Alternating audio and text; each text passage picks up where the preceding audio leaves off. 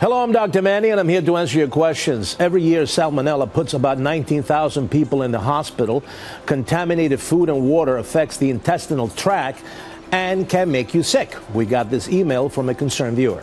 Dear Dr. Manny, I just got back from vacation where I was eating out constantly. Since then, I haven't been feeling very well. I have cramps and diarrhea. How do I know if I have salmonella versus another gastrointestinal condition? Well, Adrian, diagnosis can only come after testing your blood or stool. You should see a doctor if you have any of the following symptoms diarrhea, cramps, fever, nausea, or vomiting. Symptoms can persist for five to seven days and will eventually go away on their own. Stay hydrated. Infants and adults over 65 are more likely to develop serious illness with severe symptoms.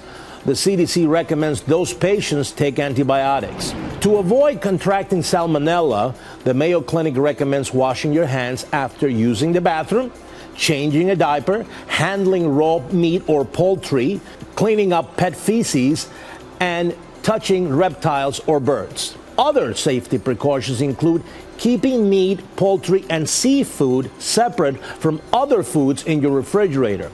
Have a separate cutting board for raw meats and another for fruits and vegetables.